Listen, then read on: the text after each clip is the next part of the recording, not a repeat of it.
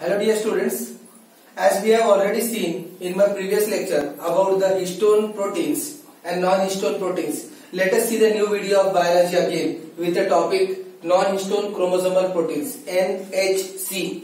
Very very important word non-histone chromosomal proteins NHC. In my previous video you have seen about the histone proteins. Histone proteins with the segments H2A, H2B, H3 as well as H4 and H1. Together they forms an octamer and from octamer we have started developing nucleosome. But in today's video we are going to see about non-histone chromosomal protein NHC which is one of the very important protein which is necessary for packing the chromatin material which is the proteins responsible for additional packing chromatic material very important one non histone chromosomal protein that is N H C R again further classified into two types one is heterochromatin and second is euchromatin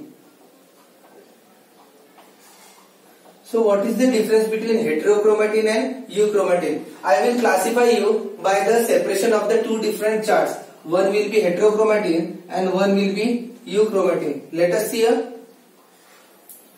One is heterochromatin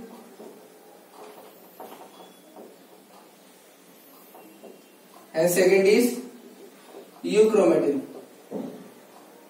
Once this question is asked in board, so we will write in the form of distinguish between.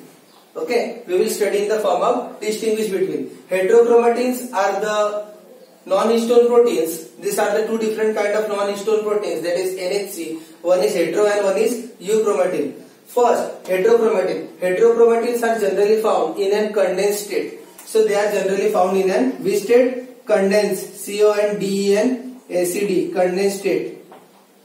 Generally they are seen in prophase they are seen in early prophase as well as they are seen in interphase stage. We have seen in meiosis and mitosis in cell division about the stages. So in prophase, early prophase as well as in interphase, we see that generally the chromosomes are in which state? They are in condensed states. They are generally heterochromatins. Heterochromatins are generally found by the scientist Heitz, H-E-I-T-Z. You have to remember this name. It is also asked for NEET question who has reported first time the heterochromatin.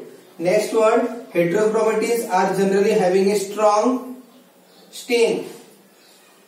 They are generally seen in which form? Dark form. They are generally seen in dark form.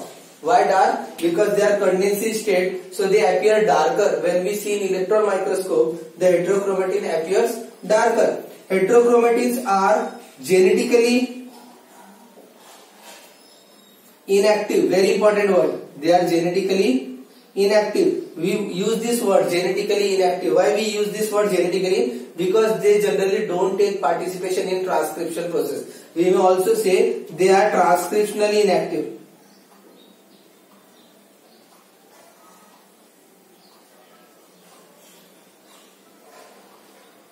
Transcriptionally inactive. So these points you should remember that heterochromatins are condensed reported by Heitz. They have the strong stain, dark, they appear darker when we see in electron microscope. They are genetically inactive. They don't take generally participation for the replications of DNA. They are transcriptionally inactive. When we are seeing about the chromatin, chromatins are generally in non-condensed state. Non-condensed state.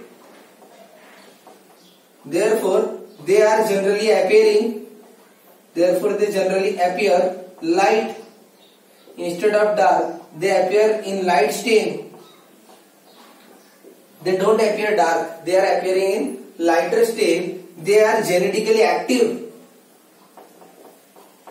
They are genetically active. That's why we say that they are transcriptionally also active.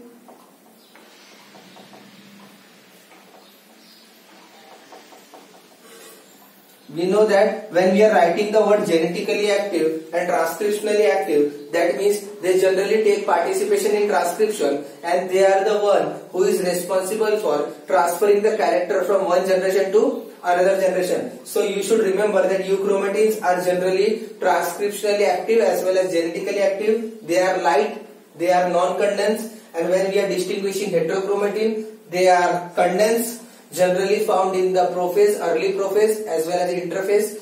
They are appearing near the centromere. They are reported by Heitz. They have the strong stain. They appear darker.